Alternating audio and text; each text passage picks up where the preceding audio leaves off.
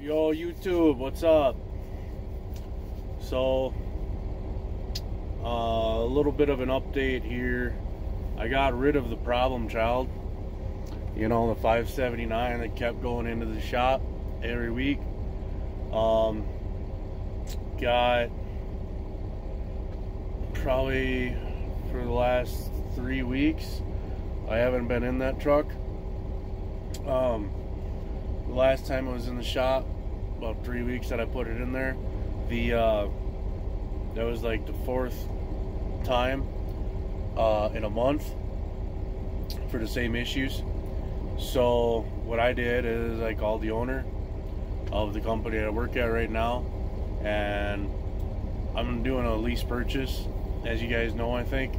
And so what I did is I called the owner up, and I was like, "So, how many times does a truck need to go into the shop for the same issue before we do something about this?" So he turned around and he goes, "Well." I got trucks sitting on the lot.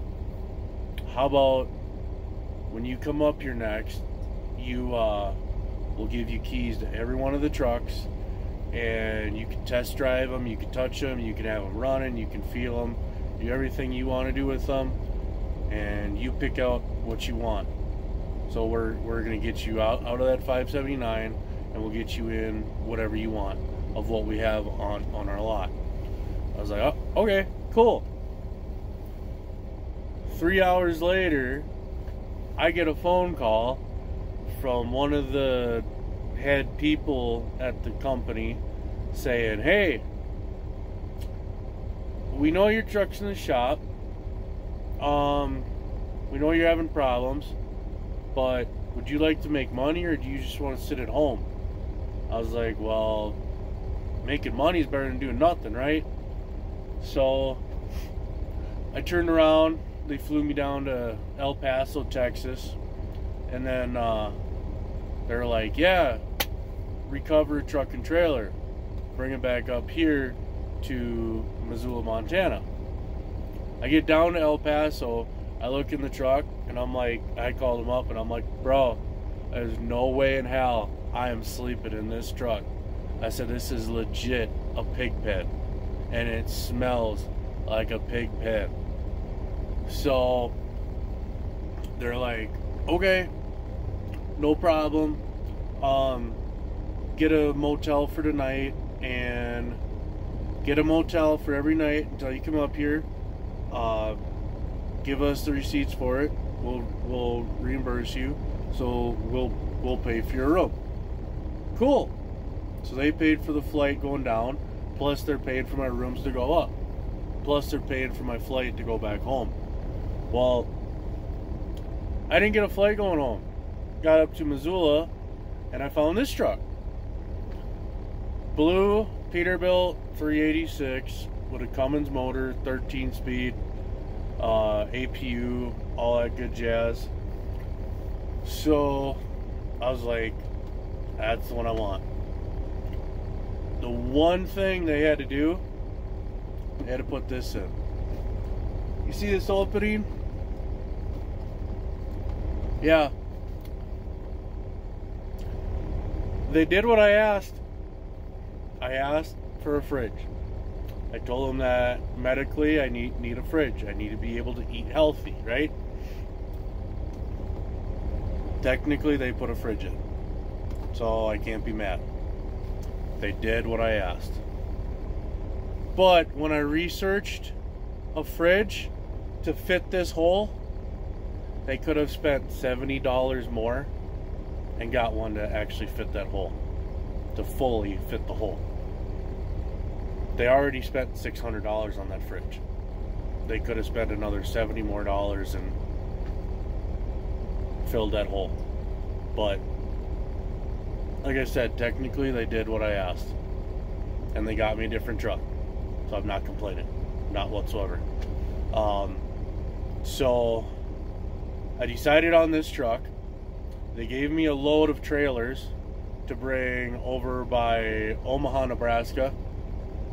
Dropped all the trailers there. Went home, bobtailed up up to the Twin Cities from there. Was cleaning everything out, cleaning everything out. So now I got to figure out how to get the 579 back to Missoula, right? So they're like, "Hey, do you want to go down to Lincoln, Nebraska?" What? With what? Well, the 579. Uh, okay, what for? Oh, to recover a load. A guy is broke down and we need that load brought to Twin Falls, Idaho by Monday morning. Oh. why doesn't he do it? Well, he can't get his truck in the shop till Tuesday. Okay. That explains that. Yup. So then they're like, yeah, and, and also we have a trailer sitting in St. Michael, Minnesota. Go ahead, hook up to that trailer, drive down to Lincoln, Nebraska, meet him, switch trailers with that guy. So give him the flatbed, you'll take his loaded trailer, hook up, and go. Alright. Got to Laramie, Wyoming, Saturday morning. No go, driver. Interstate shut down. Interstate didn't get open till Monday afternoon. So, trailer trucking all through the night up to Twin Falls, Idaho. Got the load up there, got it unloaded.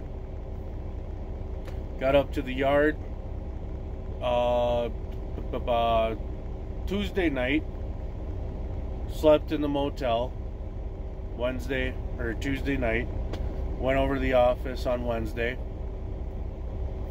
Turned in the 579. Said, "Here's your truck back.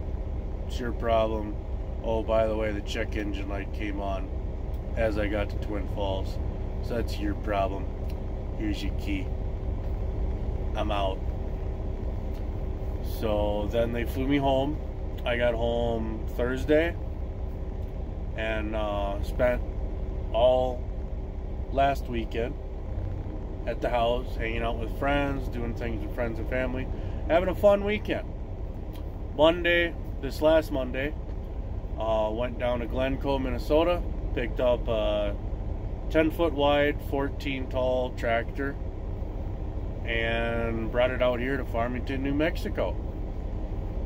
Um, got unloaded with that this afternoon, actually came down here to Gallup, New Mexico.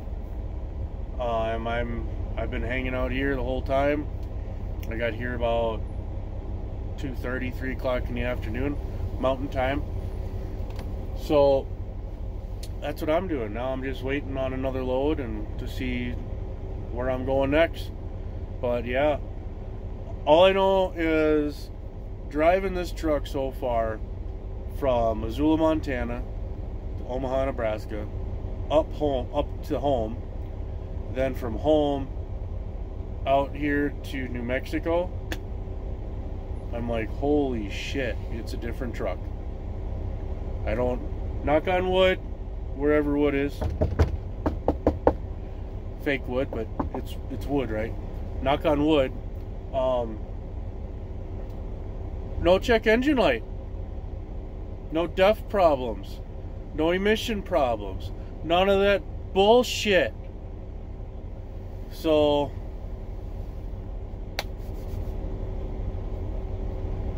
you know, do all the praying that I can do that this one doesn't do the same shit.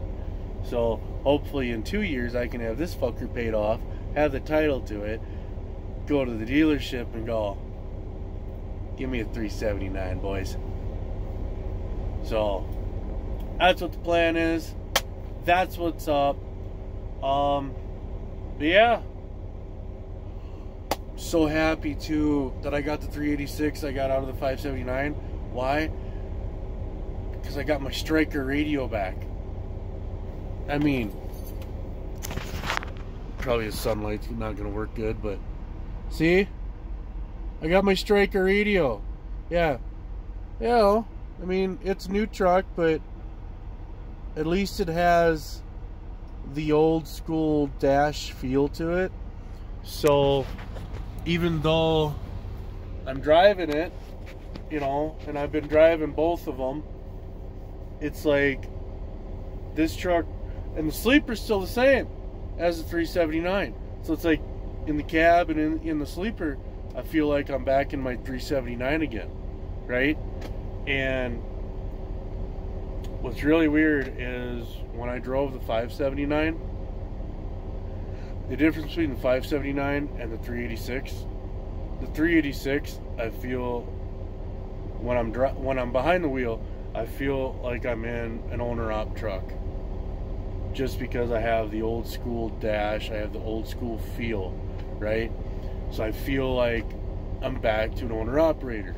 When I drove the 579, I literally felt like I was a, just a fucking company driver.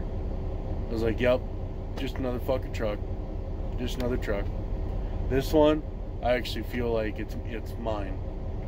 I I don't know what, what it is, but it's just weird like that. But but that's what's going on, guys. Um, I guess I'll keep you in the loop.